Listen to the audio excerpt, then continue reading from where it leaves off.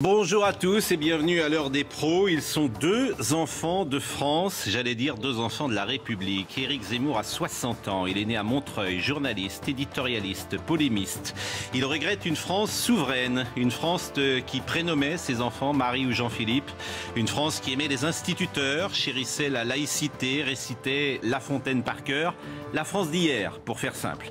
Yacine Bellatar a 36 ans, il est né à Conflans-Sainte-Honorine, humoriste, polémiste, mais aussi homme engagé. Soutien de Ségolène Royal, de François Hollande hier, aujourd'hui d'Emmanuel Macron. Il fustige le Front National, combat Alain Finkielkraut et dresse des procès en racisme, voire en fascisme à beaucoup de ses interlocuteurs qui ne partagent pas son avis.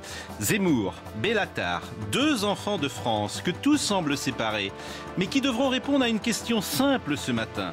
C'est quoi être français en 2019 Merci à tous les deux d'avoir accepté euh, cette invitation.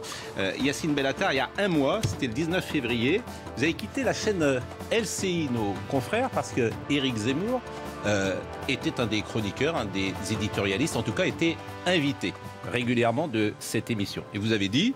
Pas régulièrement, ni chroniqueur, j'ai été invité une fois. Et vous avez dit, moi... déjà trop pour M. Bellatar. Et vous avez dit, moi aujourd'hui, je ne vais pas laisser un facho venir à 9h et moi venir à 10h prêcher le contraire sur la même chaîne.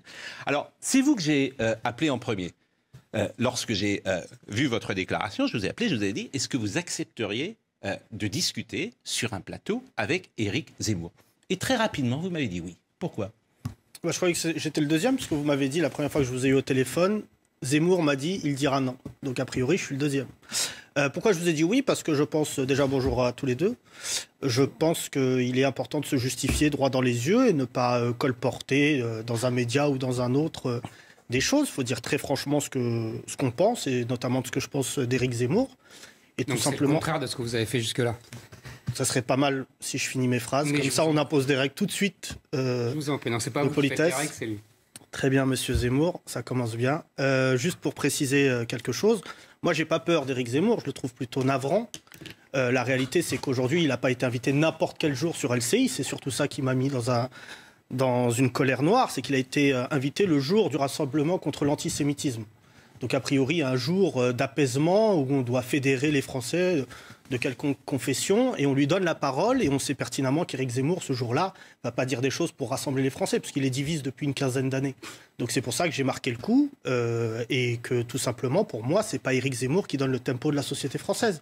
Donc aujourd'hui, j'ai pas envie de rentrer dans ce cirque. LCI est néanmoins une chaîne où il y a beaucoup de talent, mais moi je ne suis pas Éric Zemmour pour dire l'inverse une heure après. Donc là, c'est le dernier débat. C'est la dernière fois que je fais un débat d'ailleurs, et puis euh, surtout, je suis venu lui dire en face ce que je pense. C'est la dernière fois que vous faites un débat avec euh, Éric Zemmour. Oui, oui, non, mais même après, je pense qu'on en parlera peut-être durant durant l'émission. Mais je Parce pense que vous en avez marre d'être engagé dans, la société, de on a jamais marre euh, politique ou de. Non, non, on n'en a jamais marre d'être engagé. Moi, je suis un artiste. J'ai pas mm. vocation à faire mm. euh, euh, tous les plateaux télé en parlant tout le mm. temps. Et puis maintenant, aujourd'hui, ça n'a plus aucun sens. Pardon de vous dire ça, mais on est toujours là. Il y a des gens qui sont dans des positions qui sont tellement opposées que ça n'a aucun sens même de discuter. Bah, pourquoi êtes-vous venu alors? Parce que je le répète, vraiment, j'espère que vous avez lavé vos oreilles. parce que je suis venu vous dire. c'est vous qui êtes contradictoire, vous, vous rendez même pas compte, mais bon. Non, non, mais si vous voulez. Alors, votre petit jeu, votre manège à chaque fois. le jour où je serai comportementaliste, on pourra discuter. Il n'y a pas de petit jeu. Je vous dis juste, pour une fois, droit dans les yeux, je suis venu vous dire une fois pour tout ce que je pense, mhm. et après on arrête. Mais c'est très bien, juste mais moi je ne comptais pas passer ma vie avec vous. ah bah, dans l'absolu, vous avez une femme et j'en ai une. Voilà. Bon, alors j'ai posé à moins que vous soyez gay, peut-être c'est la nouvelle du ah, jour. Bah, c'est la nouvelle mode, vous savez.